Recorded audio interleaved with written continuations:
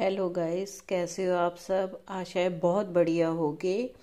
आज हम आपके साथ मिलके बनाने जा रहे हैं पालक और सरसों का साग। पालक और सरसों का साग बनाने के लिए हमने 250 ग्राम पालक ली है। ये एकदम ताज़ी पालक है और ये 250 ग्राम ही हमने सरसों ली है। और इसमें डालने के लिए आप अपने तीखे के अनुसार हरी मिर्च कम या ज़्यादा कर सकते हैं। अब हम क्या करेंगे? इसका एक एक पत्ता अलग करके, इसका भी एक एक पत्ता अलग करके और हरी मिर्च की डंडी अलग करके, इन सबको अच्छे से धो के मिक्सर में पीस लेंगे ऐसे ही। हमें अभी ना इसको उबालना है, ना कुछ करना है। अभी इसको हम ऐसे ही एक एक पत्ता ऐसे अलग, इतना इतना काट के पीस लेंगे मिक्सर में। ये देखिए, पालक और सरसों हमने अच्छे से एक एक पत्ता देख के काट लिया है और इसी में हम ये हरी मिर्च जो हमने डंडी देखिए अलग कर दी है, इसी में अच्छे से अब धो के इसको मिक्सर में पीस लेंगे। अभी हमने ना इसको उबाला है और ना कुछ किया है। ये देखिए गाइस हमने पालक, सरसों और हरी मिर्च तीनों को हमने अच्छे से धो के मिक्सी में पीस लिया। और इधर इसमें तड़का लगाने के लिए हमने दो कली लहसुन के लिए जो हमने बारीक काट ली है। एक प्याज हमने बारीक काट लिया ये अदरक है। अदरक का एक इंच का टुकड़ा है जो हमने कद्दूकस कर लिया कद्दूकस करने से क्या होगा? ये एकदम साग में मिक्स हो जाएगा और टेस्ट बहुत ही बढ़िया आएगा। और दो टमाटर हमने लिए हैं जो अभी हम बारीक काट लेंगे। और ये दो से तीन टमाटर हमने लिए हैं जो मिक्सर में पीस लिए हैं।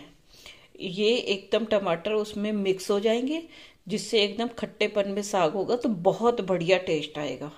और इधर तड़का लगाने के लिए हमने कढ़ाई में घी डाल दिया है, जो हमारा गर्म हो रहा है। ये देखिए, घी हमारा गर्म हो गया है। अब इसमें हम लहसुन जो हमने बारीक काटा है, वो इसमें डाल देंगे। इसको भूनने भूनने तक भून ये देखिए, लहसुन हमारा भून गया है।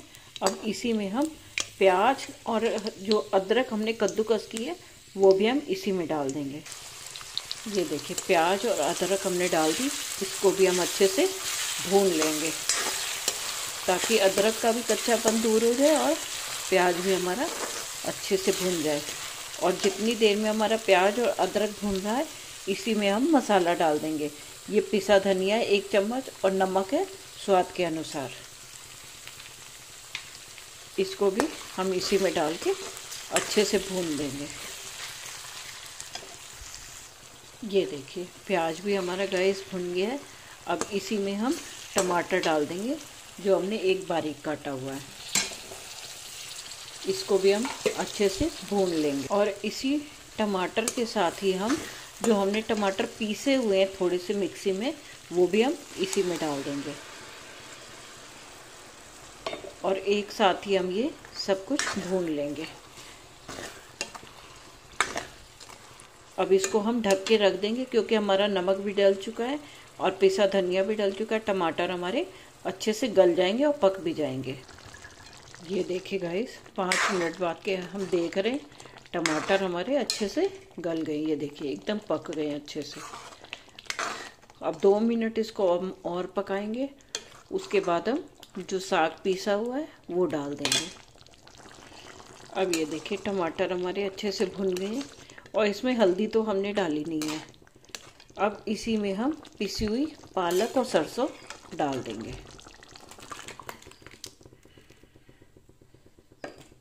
और पालक, सरसों हमारी कच्ची है, इसलिए हम इसको कम से कम पंद्रह से बीस मिनट तक भूनेंगे, ताकि हमारी अच्छे से भून भून के पालक बहुत बढ़िया टेस्टी साग बनेगा और ये झटपट बनने वाला है। इसमें बर्तन भी हमारे कम लगते हैं। आप एक बार इस तरह बना के ज़रूर देखिएगा। ये देखिए गाइस हमारे साग का रंग भी चेंज हो गया।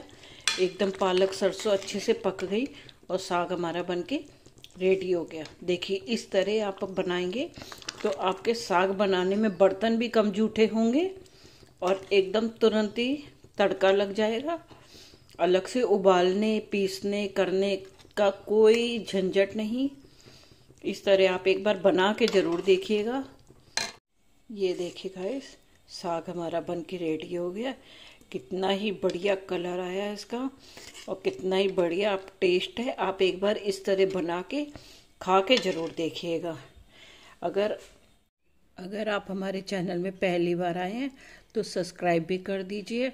और इस तरह साग एक बार बना के आप ज़रूर देखिएगा। ये बहुत ही हेल्दी साग होता है। आँखों के लिए भी बहुत फ़ायदा करता है और सर्दी का तो बहुत मज़ा आता है सर्दियों में खाने में।